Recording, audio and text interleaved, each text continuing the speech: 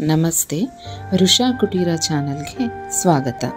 ಪಿತೃಪಕ್ಷ, ಯಾಕೆ ನಾವು ಈ ಅವಧಿಯಲ್ಲಿ ಹಿರಿಯರನ್ನ ಸ್ಮರಣೆ ಮಾಡಬೇಕು?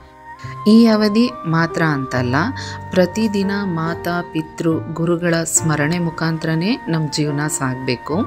ಅಂಥದ್ರಲ್ಲಿ ನಮ್ಮ ಹಿರಿಯ ತಲೆಮಾರಿನವರು ಅವರ ಕಿರಿಯರನ್ನು ಪೋಷಿಸಲು ತಮ್ಮ ಜೀವನದ ಸರ್ವ ತ್ಯಾಗಗಳನ್ನು ಮಾಡಿ ನಮ್ಮನ್ನೆಲ್ಲ ಸಾಕಿ ಬೆಳೆಸಿರ್ತಾರೆ. ಅಂಥ ಹಿರಿಯರನ್ನು ಸ್ಮರಿಸಲು ಈ ಅವಧಿ ತುಂಬ ಶ್ರೇಷ್ಠವಾಗಿದೆ ಅಂತ ನಮ್ಮ ಹಿಂದೂ ಪಂಚಾಂಗಗಳು ಪರಿಗಣಿಸಿದೆ. ನಮ್ಮನ್ನು ಪೋಷಿಸಿ ದೊಡ್ಡವರನ್ನಾಗಿ ಮಾಡಿದ ನಮ್ಮ ಹಿರಿಯರ ಋಣವನ್ನು ಕಡಿಮೆ ಮಾಡಿಕೊಳ್ಳಲು ಅವರ ಮರಣದ ನಂತರ ಅವರನ್ನು ಸ್ಮರಿಸಿ ಅವರ ಆತ್ಮಕ್ಕೆ ಪ್ರಾರ್ಥನೆಯನ್ನು ಸಲ್ಲಿಸಬೇಕಾದದ್ದು ನಮ್ಮ ಕರ್ತವ್ಯ. ಆ ಕರ್ತವ್ಯವನ್ನು ಈ ಪಿತೃಪಕ್ಷದ ಸಮಯದಲ್ಲಿ ಮಾಡಿದರೆ ಶ್ರೇಷ್ಠ. ಇದರಿಂದ ಮನೆಯಲ್ಲಿ ಸಮೃದ್ಧ ಶಾಂತಿ ಉಂಟಾಗುತ್ತದೆ ಎಂದು ಪುರಾಣಗಳು ತಿಳಿಸಿಕೊಡುತ್ತದೆ. ಇದಕ್ಕೆ ಸಂಬಂಧಪಟ್ಟಂತೆ ಅನೇಕ ಹಿಂದೂ ಪುರಾಣ ಮಹಾಗ್ರಂಥಗಳಲ್ಲೂ ಸಹ ಉಲ್ಲೇಖ ಮಾಡಲಾಗಿದೆ. ಕರ್ಣ ವೀರ ಮರಣವನ್ನಪ್ಪಿ ಸ್ವರ್ಗಕ್ಕೆ ಹೋದಾಗ ಅವನಿಗೆ ತಿನ್ನೋದಿಕ್ಕೆ ಆಹಾರ ಸಿಗ್ಲಿಲ್ವಂತೆ. ಯಾಕೆ ಗೊತ್ತಾ? ಮಹಾನ್ ಶ್ರೇಷ್ಠ ದಾನಿ ಕರ್ಣ ಯಾರೇನೇ ಕೇಳಿದ್ರು ಇಲ್ಲ ಅಂತ ಹೇಳ್ತಿರ್ಲಿಲ್ಲ.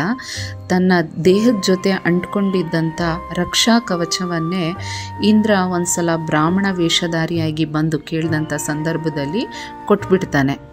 ಇಂಥ ಮಹಾಶ್ರೇಷ್ಠ ದಾನಿ ಕರ್ಣನ ಅಂತ್ಯಕಾಲದಲ್ಲಿ ಜಗದೋದ್ಧಾರಕನಾದಂಥ ಶ್ರೀಕೃಷ್ಣ ಪರಮಾತ್ಮನೇ ತನ್ನ ವಿಶ್ವರೂಪವನ್ನು ತೋರಿಸ್ತಿದ್ದಾನೆ ಅಂತ ನಾವೆಲ್ಲ ಕೇಳಿದ್ದೀವಿ.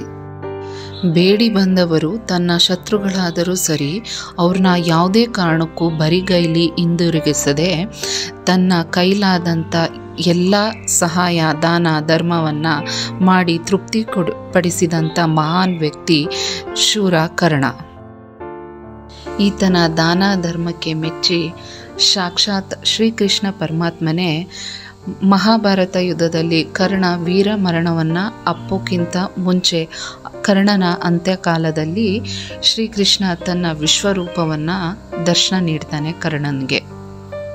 ಇಂಥ ಮಹಾದಾನಿಗೆ ಸ್ವರ್ಗಸ್ಥನಾದ ನಂತರ ತಿನ್ನಲು ನಿಜವಾದ ಆಹಾರ ಸಿಕ್ಕಿಲ್ಲ ಅಂದರೆ ತುಂಬ ಶೋಚನೀಯ ಅಲ್ವಾ? ಕಾರಣ ಏನೋ ಗೊತ್ತಾ? ಕರ್ಣ ಸ್ವರ್ಗಸ್ಥನಾದ ಮೇಲೆ ಸ್ವರ್ಗದಲ್ಲಿ ಅವನಿಗೆ ಹಸ್ವಾಗುತ್ತೆ. ಆಗ ಅವನು ತಿನ್ನೋದಿಕ್ಕೆ ಆಹಾರ ಕೇಳ್ತಾನೆ. ಆದರೆ ಅಲ್ಲಿದ್ದಂಥ ಸೇವಕರು ಕರ್ಣನಿಗೆ ಆಹಾರದ ಬದಲು ತಟ್ಟೆ ತುಂಬ ಆಭರಣ, ಚಿನ್ನ, ನಗ ನಾಣ್ಯಗಳನ್ನ ಅರ್ಪಿಸ್ತಾರೆ.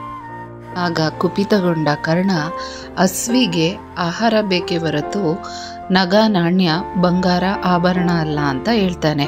ಇದನ್ನು ಕೇಳಿಸಿಕೊಂಡಂಥ ಸ್ವರ್ಗಾಧಿಪತಿಯಾದಂಥ ಇಂದ್ರ ಕರ್ಣನಿಗೆ ತಿಳಿಸ್ತಾನೆ, ನಿನ್ಗೆ ಯಾಕೆ ಆಹಾರದ ಬದಲು ಚಿನ್ನ ಆಭರಣ ನೀಡಲಾಗ್ತಿದೆ ಅಂತ? ಕರ್ಣ ನೀನು ಬದುಕಿದ್ದಾಗ ಯಾರೇನೇ ಕೇಳಿದ್ರು ಎಲ್ಲ ರೀತಿಯ ದಾನ ಧರ್ಮ ಮಾಡಿದೆ. ಆದರೆ ಯಾರಿಗೂ ಸಹ ನಿನ್ನ ಜೀವಿತ ಅವಧಿಯಲ್ಲಿ ಒಂದಿಡಿ ಅನ್ನ ದಾನ ನೀಡಿಲ್ಲ ನೀನು. ಮತ್ತು ನಿನ್ನ ಪಿತೃಗಳ ಋಣನೂ ತೀರಿಸಿಲ್ಲ. ನಿನ್ನ ಪಿತೃಗಳ ಋಣಭಾರ ನಿನ್ನ ಮೇಲೆ ಅಪಾರವಾಗಿದೆ. ಆದ್ದರಿಂದ ನೀನು ನಿನ್ನ ಜೀವಿತಾವಧಿಯಲ್ಲಿ ಏನನ್ನ ದಾನ ಮಾಡಿದೆಯೋ ಅದೇ ನಿನಗೆ ಇಲ್ಲಿ ಸಿಗ್ತಾ ಇದೆಯೋ ಹೊರತು ಅನ್ನ ಸಿಗ್ತಾ ಇಲ್ಲ ಅಂತ ಇಂದ್ರ ಕರ್ಣನ್ಗೆ ಹೇಳ್ತಾನೆ. ಆಗ ಕರ್ಣ ಇಂದ್ರನಿಗೆ, ನಾನೇನು ಮಾಡಲಿ? ನನ್ನ ಎತ್ತವರು ಯಾರು ಅಂತ ನನಗೆ ಗೊತ್ತೇ ಇರಲಿಲ್ಲ. ಮತ್ತು ನನ್ನ ಹತ್ರ ಬಂದವರೆಲ್ಲ ಸಹಾಯ ಕೇಳಿ ಬಂದರೆ ಹೊರ್ತು ಯಾರು ಹಸಿವು ಅಂತ ಬರಲಿಲ್ಲ.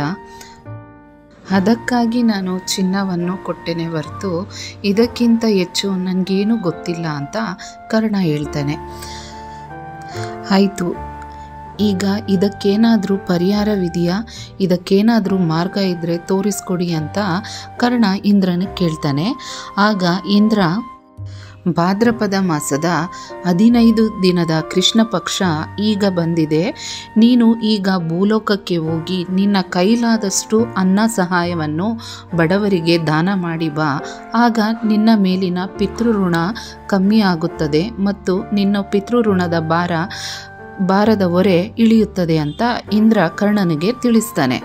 ಆಗ ಕರ್ಣ ಆಗ ಭೂಲೋಕಕ್ಕೆ ಬಂದು ತನ್ನ ಕೈಲಾದಷ್ಟು ಅನ್ನದಾನ ಮಾಡಿ ಮತ್ತೆ ಸ್ವರ್ಗಕ್ಕೆ ಹೋಗ್ತಾನೆ. ಆ ಸ್ವರ್ಗಕ್ಕೆ ಹೋದಾದ್ಮೇಲೆ ಅವನಿಗೆ ಅಲ್ಲಿ ಆಹಾರ ಸಿಕ್ತು ಅಂತ ಪ್ರತೀತಿ ಇದೆ. ಈ ಭಾದ್ರಪದ ಮಾಸದ ಕೃಷ್ಣ ಪಕ್ಷದಲ್ಲಿ ಮಾಡಿದ ಅನ್ನದಾನದಿಂದ ಈ ಪಿತೃಪಕ್ಷ ಹೆಚ್ಚಿನ ಮಹತ್ವವನ್ನು ಪಡೆದುಕೊಂಡಿದೆ. ಹಾಗಾಗಿ ಹಿರಿಯರನ್ನು ಸ್ಮರಿಸಲು ಇದು ತುಂಬ ಶ್ರೇಷ್ಠವಾದ ಸಮಯ. ಪಿತೃಪಕ್ಷದಲ್ಲಿ ಹಿರಿಯರು ಬೆಳ್ಳಿಯ ಪಾತ್ರೆನ ಕೈಯಲ್ಲಿಡ್ಕೊಂಡು ಅನ್ನಕ್ಕಾಗಿ ಕಾಯ್ತಿರ್ತಾರಂತೆ. ಈ ಸಮಯದಲ್ಲಿ ಅನ್ನ ಸಿಗದಿದ್ದರೆ ವರ್ಷಕ್ಕೊಮ್ಮೆ ಮಾಡುವ ವೈದಿಕ ಕರ್ಮಾದಿ ಸಮಯದಲ್ಲಿ ಹಿತ್ತಾಳೆ ಪಾತ್ರೆನ ಇಟ್ಕೊಂಡು ಅನ್ನಕ್ಕಾಗಿ ಕಾಯ್ತಾ ಇರ್ತಾರಂತೆ. ಆಗಲೂ ಅನ್ನ ಹಾಕ್ದಿದ್ರೆ ಕೆಲವೊಂದು ವಿಶೇಷ ತಿಥಿ, ವಿಶೇಷ ದಿನಗಳಲ್ಲಿ ಮಣ್ಣಿನ ಪಾತ್ರೆನ ಇಟ್ಕೊಂಡು ಅನ್ನಕ್ಕಾಗಿ ಕಾಯ್ತಿರ್ತಾರಂತೆ. ಇಂಥ ವಿಶೇಷ ದಿನಗಳಲ್ಲೂ ನಮ್ಮ ಹಿರಿಯರಿಗೆ ನಾವು ಅನ್ನ ಹಾಕದೇ ಇದ್ದರೆ ಅದೇ ಮಣ್ಣಿನ ಪಾತ್ರೆನ ಒಡೆದಾಕಿ ನಮ್ಮನ್ನು ಸಪಿಸಿ, ಅಂದರೆ ನಮಗೆಲ್ಲರಿಗೂ ಶಾಪ ನೀಡಿ ಹೋಗ್ತಾರಂತೆ.